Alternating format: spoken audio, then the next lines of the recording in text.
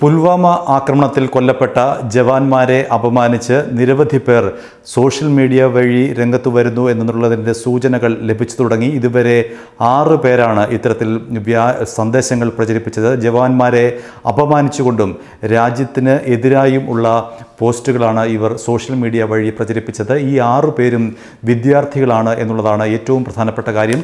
ഗൗരവതരമായ ഒരു കാര്യം. ഒരാൾ കേരളത്തിൽ നിന്നുള്ളവരാണ്. അയാൾ മലയാളിയല്ല ആന്ധ്ര സ്വദേശിയാണ്. കാസർഗോഡ് കേന്ദ്ര സർവകലാശാലയിലാണ് അയാൾ പഠിക്കുന്നത്. രണ്ടാം വർഷ എം എ ഇന്റർനാഷണൽ റിലേഷൻസ് വിദ്യാർത്ഥിയായ അവള റാം എന്നാണ് ഇയാളുടെ പേര്.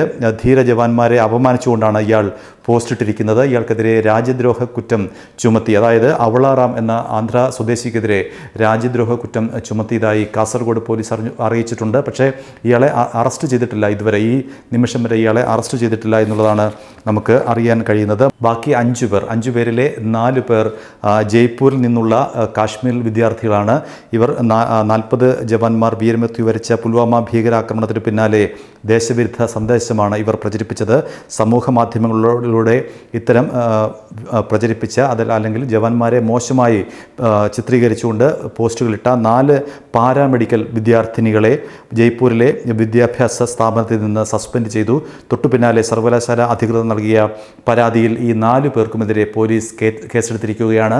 ഐ ടി ആക്ട് പ്രകാരമാണ് കേസെടുത്തിരിക്കുന്നത് എന്നാണ് നമുക്ക് ഇതുവരെ കിട്ടുന്ന വിവരം. കാരണം പി ടി ഐ ആണ് ഇക്കാര്യം റിപ്പോർട്ട് ചെയ്തിരിക്കുന്നത്. പി ടി ഐ പറയുന്നത് ഈ നാല് വിദ്യാർത്ഥിനികൾക്കെതിരെയും കാശ്മീർ സ്വദേശികളാണ് ഈ നാല് പേരും ഈ നാല് പാരാമെഡിക്കൽ വിദ്യാർത്ഥിനികൾക്കെതിരെയും ഐ ടി ആക്റ്റാണ് ചുമത്തിയിട്ടുള്ളത്. ഇനി ഇവരുടെ പോസ്റ്റുകൾ പരിശോധിച്ച ശേഷം രാജ്യദ്രോഹ കുറ്റമടക്കമുള്ള ഗുരുതര കുറ്റങ്ങൾ ചുമത്തണോ എന്നുള്ള കാര്യം പോലീസ് ആലോചിച്ചു വരികയാണെന്ന് പി ടി ഐ റിപ്പോർട്ട് ചെയ്യുന്നു. നാഷണൽ ഇൻസ്റ്റിറ്റ്യൂട്ട് ഓഫ് മെഡിക്കൽ സയൻസസിലെ അതായത് എൻ ഐ എം എസിലെ നിന്നുള്ള രണ്ടാം വർഷ വിദ്യാർത്ഥിനികളാണ് ഈ നാല് പേരും. ഇവർക്കെതിരെയാണ് ഇപ്പോൾ സർവകലാശാല നടപടി സ്വീകരിച്ചിരിക്കുന്നത്.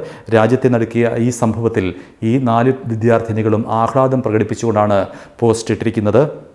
ആ വാട്സാപ്പിലാണ് ഇവരുടെ പോസ്റ്റ് പ്രത്യക്ഷപ്പെട്ടത്. അതോടെ പ്രതിഷേധം വ്യാപകമാവുകയായിരുന്നു അപ്പോഴാണ് സർവകലാശാല ഈ നാല് വിദ്യാർത്ഥിനികളെയും സസ്പെൻഡ് ചെയ്തത്. ദേശവിരുദ്ധ സന്ദേശം സമൂഹ മാധ്യമങ്ങളിലൂടെ പ്രചരിപ്പിച്ച സാഹചര്യത്തിലാണ് നടപടി സ്വീകരിക്കുന്നതെന്ന് സർവകലാശാല അധികൃതർ സസ്പെൻഷൻ ഉത്തരവിൽ വ്യക്തമാക്കുന്നു. വിദ്യാർത്ഥിനികളുടെ ഇത്തരം പെരുമാറ്റം സർവകലാശാലയുടെ സൽപ്പേരിന് കളങ്കം വരുത്തിയെന്നും സർവകലാശാല ഉയർത്തുന്ന ധാർമ്മിക മൂല്യങ്ങൾക്ക് വിരുദ്ധമാണെന്നും സർവകലാശാല ഈ വാർത്താക്കുറിപ്പിൽ പറയുന്നു.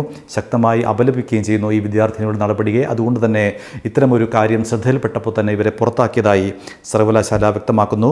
ഇത്തരം നീക്കങ്ങൾ അതീവ ഗൗരവമായി കാണേണ്ടി വരുമെന്നും സർവകലാശാല വ്യക്തമാക്കിയിട്ടുണ്ട്. സസ്പെൻഷന് പിന്നാലെയാണ് വിദ്യാർത്ഥിനികൾക്കെതിരെ അതായത് കാശ്മീർ സ്വദേശിനികളായ വിദ്യാർത്ഥിനികൾക്കെതിരെ പോലീസ് കേസെടുത്ത് അന്വേഷണം ആരംഭിച്ചിരിക്കുന്നത്. ഏതായാലും ഐ ടി ആക്ട് മാത്രമാണ് ഇപ്പോൾ ചുമത്തിയിരിക്കുന്നതെന്ന് അവിടുത്തെ റൂറൽ എസ് പി ഹരീന്ദ്രകുമാർ വാർത്താ ഏജൻസിയോട് അതായത് പി ടി ഐയോട് പറഞ്ഞിട്ടുണ്ട്.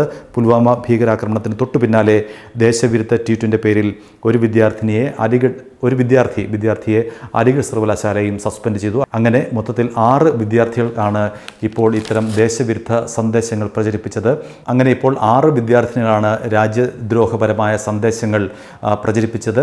ജവാന്മാർക്കെ ഇഴുത്തി ഇകഴ്ത്തി കാണിച്ചുകൊണ്ട് ഇത്തരം പോസ്റ്റുകൾ ഇട്ടത് ഈ ആറ് പേർക്കെതിരെയും നടപടി സ്വീകരിച്ചിട്ടുണ്ട്. മാത്രമല്ല ഇന്ന് ബി എസ് എഫ് പറഞ്ഞിട്ടുള്ളത് ഇത്തരം പോസ്റ്റുകൾ ശ്രദ്ധയിൽപ്പെടുമ്പോൾ തന്നെ ബി എസ് എഫിനെ അറിയിക്കണം എന്നും ബി എസ് എഫിന്റെ വെബ്സൈറ്റും കൊടുത്തുകൊണ്ടുള്ള ഒരു വാർത്താക്കുറിപ്പും ബി എസ് എഫ് ഇറക്കിയിട്ടുണ്ട്. അതുകൊണ്ട് തന്നെ ആരുടെയെങ്കിലും ഇത്തരം ശ്രദ്ധയിൽപ്പെട്ടാൽ ഇത്തരം ദേശവിരുദ്ധ പോസ്റ്റുകളോ അല്ലെങ്കിൽ ഇത്തരം ബി എസ് എഫിനെതിരായിട്ടുള്ള പോസ്റ്റുകളോ ശ്രദ്ധയിൽപ്പെട്ടാൽ ഉടൻ തന്നെ തങ്ങളെ അറിയിക്കണമെന്നാണ് ബി എസ് എഫ് അറിയിച്ചിരിക്കുന്നത്. ഏതായാലും ആറ് വിദ്യാർത്ഥികളുടെ നടപടി അത്യന്തം ഗുരുതരമാണ് രാജ്യദ്രോഹപരമാണ്. ഇവർക്കെതിരെ ഗുരുതരമായ നടപടി ഉണ്ടാകും എന്ന് തന്നെയാണ് പോലീസ് വൃത്തങ്ങൾ അറിയിക്കുന്നത്.